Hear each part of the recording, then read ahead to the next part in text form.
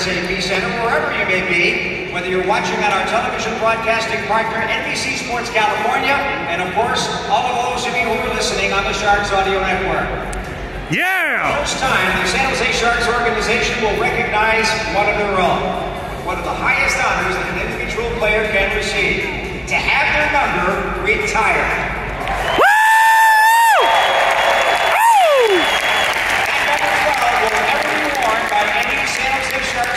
Again. And it's only fitting that the very first person to receive this great recognition is the same individual who has played more games in a San Jose Sharks uniform than any other player and holds nearly every franchise scoring record.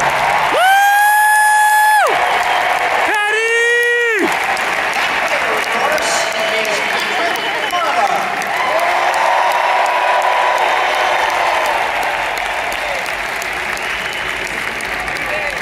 Tonight, in front of Patrick's family, his friends, former teammates, and current Sharks players, and of course you, his fans, we will remember Patrick's legendary NHL career and the impact that he has left on the Sharks franchise and Jose community.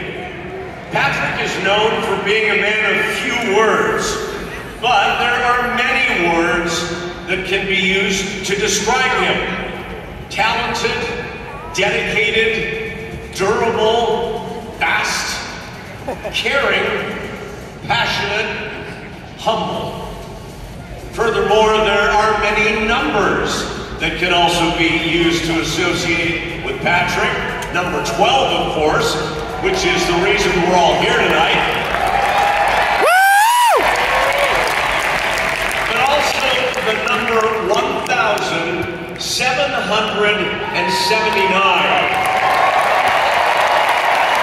That is the number of regular season NHL games Patrick played in, the most ever in NHL history.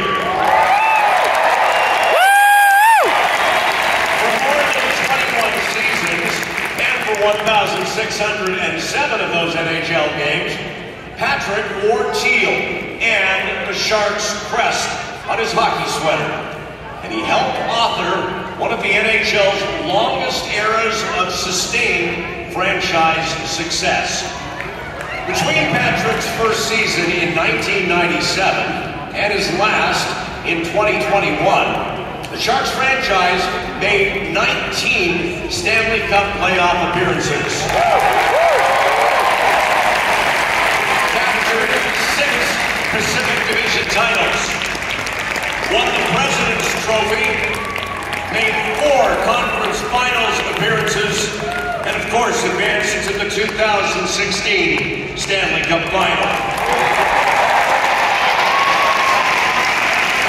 And between Patrick's first season the Sharks in 1997 through the 2017 season before he departed to Toronto, the Sharks' 802 regular season victories were third overall in the NHL.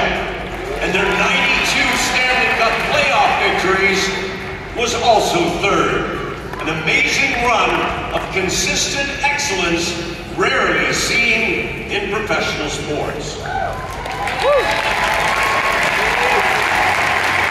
Of course, on the ice, none of these achievements happen without the support of a team and dedicated teammates.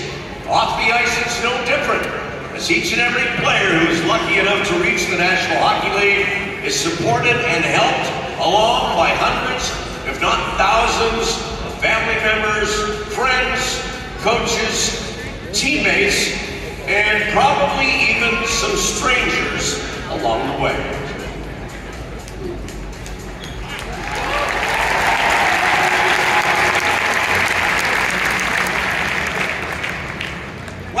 Fans, tonight we are very fortunate to have many of these individuals from Patrick's journey right here with us to help him celebrate this occasion. It is an amazing group.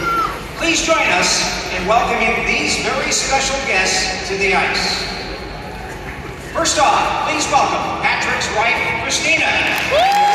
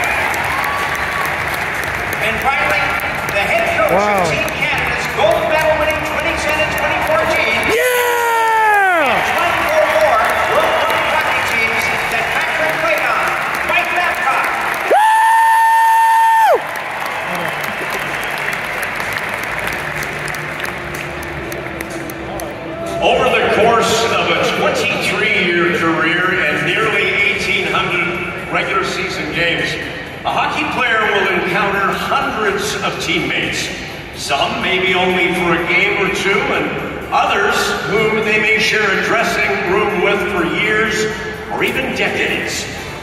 Many of those, particularly those who a player encounters earlier in their career, can have a lasting impact on the player and the man that they are to become. A true hockey family. Well, tonight, many of Patrick Shark's teammates have chosen to be here and to be part of this historic night.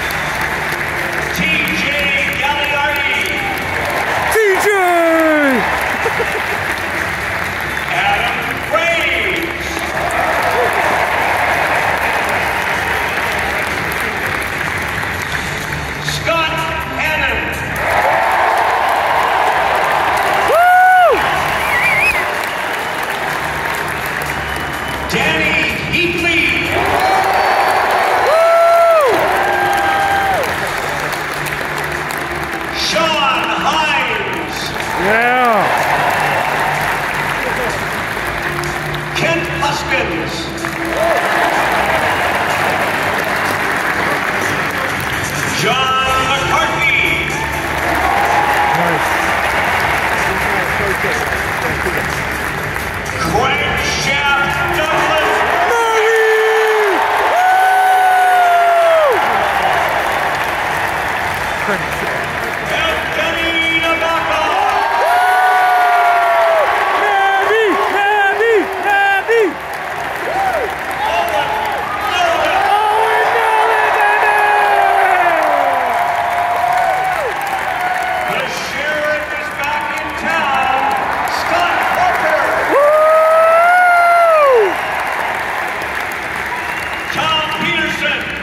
Yeah!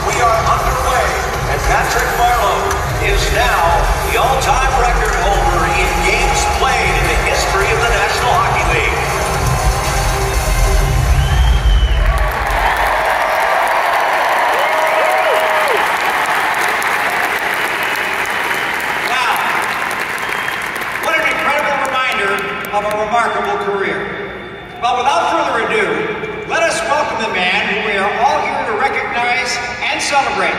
He is a San Jose Sharks franchise icon. Number 12, Patrick Marleau.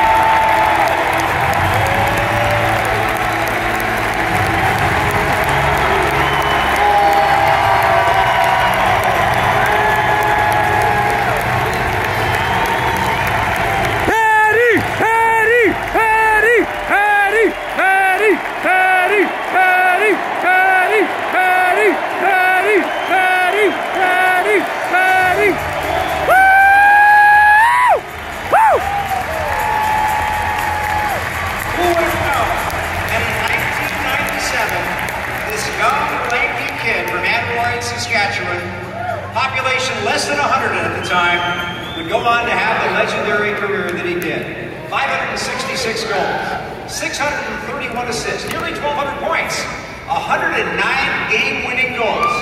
Talk about a tough story. He's tied for seventh in NHL history in game-winning goals. And he had a game-winning goal against every team but one that he played. He's played in more regular season games than anyone in National Hockey League history. He's but it's not just the regular season. 195 Stanley Cup playoff games, 177 of those right here in San Jose.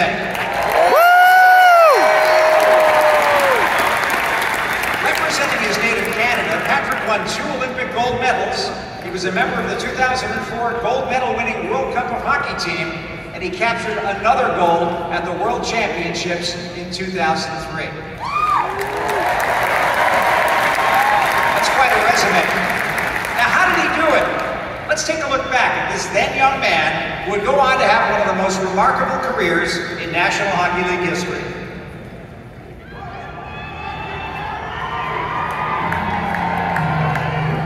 When Patrick was a little boy, the, the population of, around Aneroid was around 70 families. It's a farming community. Everybody cooperated and did things together. They were tight knit in that you knew your neighbors, you knew all the community members. A very friendly community. Patrick, as a child growing up, was like any typical young child. He uh, spent a lot of time outdoors, and of course, he had his farm chores to do, but he was into sports most of the time.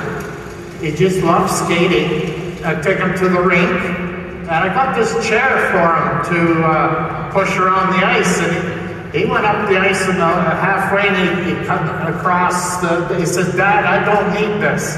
He just turned around and he, he skated off like as if. This was uh, one of his first times that he went skating. And Patrick always played up uh, age group, and you could just see when he played up. I mean, the, the leadership quality and that that just came along with a 10, 12 year old boy. When we met Patrick and we went out to his hometown in the Aneroid, Saskatchewan, he gave us the directions to go out there. He was kind of like, oh, you're not going to believe this. There's no street signs. So you got to go down to a certain tree and take a right and take a left. The first meeting, it was kind of eye-opening. The, the character he had, you could see it in the family. You know, when we first saw him, it was very clear that his number one asset was speed. He was a powerful speed. And he knew how to get open, and then he had a great release. And then there's something too you can't teach. You know, sometimes you can have that, but somehow pucks just don't seem to go in for certain guys. His pucks seem to go in. When Patrick got uh, drafted in Pittsburgh, that was an exciting time. And the Sharks uh, management, uh, they were really great with Jeanette and I. He was a classic of a high pick that can change the franchise for a long time. He was one of those generational pieces for a franchise. He was that guy. At that time, until I got to know him, he came across as very quiet and reserved. A lot of times that can be read as not intense, and kind of buffaloed by the guys with the yapping and the trash talking and things. But I think as you got to know him, you learned not to be fooled that deep down there was some intensity that far surpassed the guy with the big mouth. We played an exhibition game. It was either his 18th birthday or right in It chance right away because just the way he plays and the way he thinks the game. He was one of those guys that when things weren't going well, he only needed one chance to score. And yet there's not a lot of guys like that, that one chance to score, and they can keep you in games. This guy got better as a player. And it's almost impossible because it's a version of hockey. But I distinctly remember watching up top I'm like, holy smoke. I've never made that play before. So it's really interesting. He was a better player eight years into his career.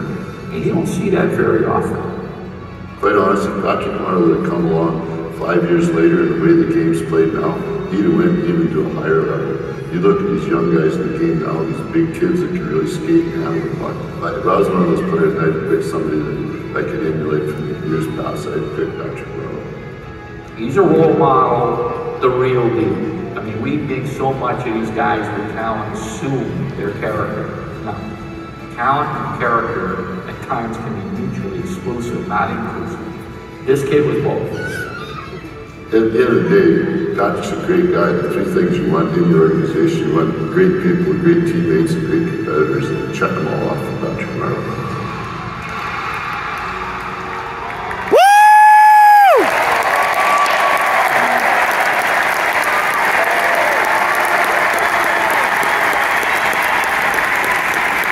Over the course of his life and the NHL career, Patrick has crossed paths with thousands of people, many of whom played a part into who Patrick is as a man and who he became as a hockey player.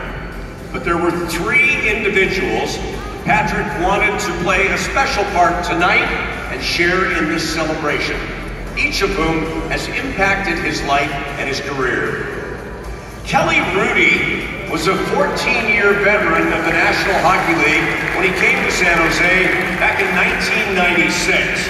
And while they were only teammates for one season in San Jose, Kelly and his family played an extremely important role for a barely 18-year-old Patrick when he arrived in the Bay Area. when Patrick was drafted, that was a really cool thing because, you know, when you go second overall, you know that there's a lot of high expectations. And I kind of saw somebody similar to myself and a quiet person. And I personally wanted to sort of help him with his growth so it wasn't overwhelming to him. He was a great listener. He didn't speak a lot, but you could tell that he was very aware of what was going on around him. And I think when I really recognized Patrick was great player was his wrister. I mean, he could score from distance. I I knew that this was a, a talent that very few people possessed. And as he grew older and as he grew bigger, he was going to be one of the world's greatest players. But a week into uh, training camp, I remember thinking to myself, I wonder if it would be a great experience for Patrick and for myself and for our family, Donna and our three kids, if maybe Patrick would live with us. Over the course of the next few days, we decided that this would be something that we should uh, look at, and we did. And then I think about a week later, Patrick moved in with our family, and it was just a, an amazing experience for all of us. Our daughters felt like they had a big brother. And it- so it was amazing. You know, Patrick, we had a little guest house, and uh, so Patrick lived there, but he was around us, know, from morning to night. Patrick playing video games with the, the kids, uh, Patrick just laying on the couch on a, a lazy afternoon, and, and most importantly, the memories I have would be after a home game in our little family room the three of us would stay up and we would have sandwiches. You know, after a game, there's so much adrenaline, it's it's not easy to sleep. And we'd maybe talk for about half an hour about the game, but it was more about learning how Patrick grew up on the farm and Donna grew up on a farm in Saskatchewan as well. And so, man, we would sit up till two or three in the morning. Those memories are just the most heartwarming. When I think of Patrick and our time together, I just think Donna and I are so proud of Patty and the life he's created with Christina and their family, and they look like the most loving parents. It's so rewarding to look back. If you didn't know Patrick was a professional athlete, you would think, wow, there's a really nice, humble guy walking down the street with his family and not somebody that has uh, earned the praise of millions worldwide. And I think that speaks volumes about who Patrick is, how he is raised, how he respects others, and there's no phoniness about Patrick. And you might be surprised that he's a world class athlete. Patrick, man, I just remember meeting you in 1997 and uh, taking you into our house and just watching you over the years develop into the man you are, the husband, the father. I'm just so proud of you. Congratulations on a wonderful career.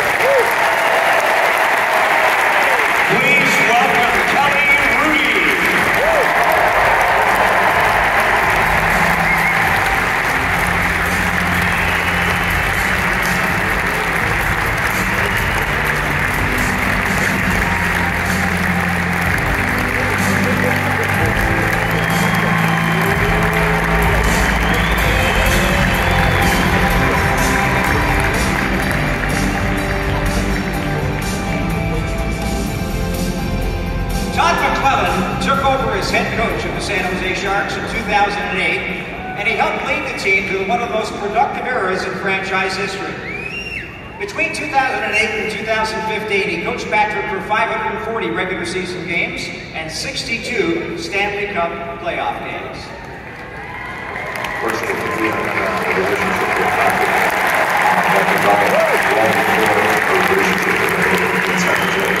Uh, getting to know the family, uh, getting to know Patrick as a, as a young young man, and then watching him evolve and, and having the honor of coaching was uh, something special. Early in my career, I was in Detroit with the Red Wings, and we naturally had a, a vicious rivalry with uh, the San Jose Sharks. Preparation for the Sharks was never easy. Patrick Marleau, his speed, his skill, the impact he had on the game, a big part of our game plan centered around certain individuals, and Patrick would have been one of them. When I arrived in San Jose, I, I, thought I knew Patrick fairly well, but what I learned a lot about Patrick is he cared deeply about his teammates, his team, the community, and uh, I got to physically see him work day in and day out. Um, I had heard about his work ethic, but the commitment to his body, to staying healthy, to being on time, and being a true pro, uh, that was evident day after day after day. And I think that's in large part why he was able to play the number of games he played.